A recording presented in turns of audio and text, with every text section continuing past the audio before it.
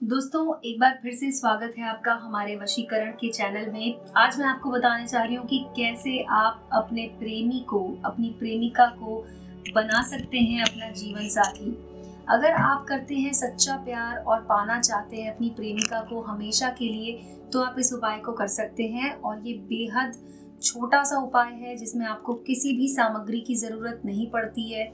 आप इसे किसी भी रात में आप इसे कर सकते हैं और इसका एक और फ़ायदा है दोस्तों कि इसे करते समय आपको अगर कोई देख भी ले तो उसे पता नहीं चल पाएगा कि आप इसे कर रहे हैं। तो आप इसे किसी भी समय कर सकते हैं मतलब घर में बैठे बैठे आप इसे कर सकते हैं और इसका आपको तुरंत असर देखने को मिलेगा। मतलब अगर आपकी प्रेमिका आपसे नाराज़ है या आपका रूठा हुआ प्यार आपसे दूर चला गया है, आपका पुराना प्रेमी आपकी लाइफ से दूर चला गया है या फिर आपके पति हैं जो आपकी बात नहीं सुनते हैं या आपकी पत्नी है तो ये कोई भी इस उपाय को कर सकता है।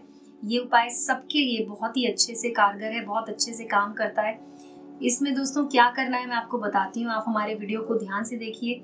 और अगर आप हमारे चैनल पर नए हैं तो इस चैनल को सब्सक्राइब करके बेल आइकन को दबा दीजिएगा, ताकि आपको हमारे जो नए वीडियोस आएँगे, उनका नोटिफिकेशन मिलता रहेगा।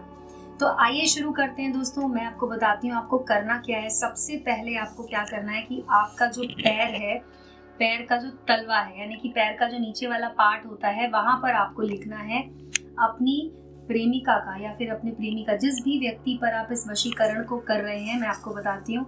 जैसे मान लीजिए कि ये इस तरह से मैं बनाती हूँ अभी आपका पैर तो बस आपको करना ये है कि जो नीचे का पार्ट होता है, जो पैर का जो तलवा होता है, ये ऊपर वाला पार्ट यहाँ पर आपको अपनी प्रेमिका का नाम इस तरह से लिख देना है। और उसके बाद ये आपको ऊपर नहीं लिखना है आपको पैर के तलवे पर लिखना है। जैसे कि ये हाथ की हथेली होती है उसी तरह से पैर का जो तलवा होता है, वहाँ पर आपको ये नाम लिखना है। और उसके बाद आपको पैर अपना एक, पैर के के साथ में नाम लिखने के तुरंत बाद आपको एक मंत्र लिखना होगा। जो कि बहुत ही आसान मंत्र है। मंत्र है, ओम स्त्रीम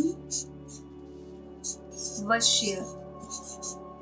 तो आपको यहाँ पर ओम त्रीम वश्य, जो भी आपकी प्रेमिका या प्रेमी का नाम है, वश्य के आगे आपको उनका नाम इस तरह से लिख देना है। देख सकते हैं आप?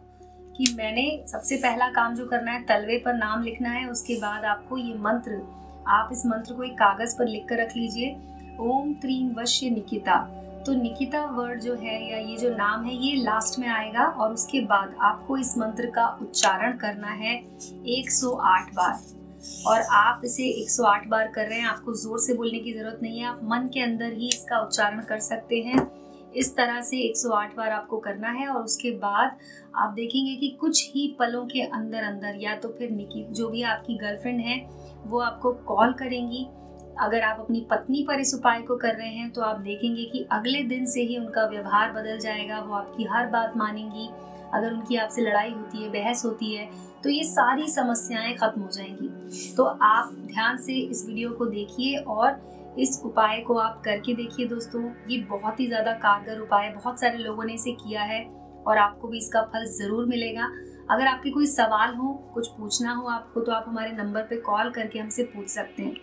दोस्तों, आपने हमारा वीडियो देखा, उसके लिए धन्यवाद। हमारे और वीडियोस के लिए आप हमारे चैनल को सब्सक्राइब कर लीजिए, बेल आइकन को दबा दीजिए।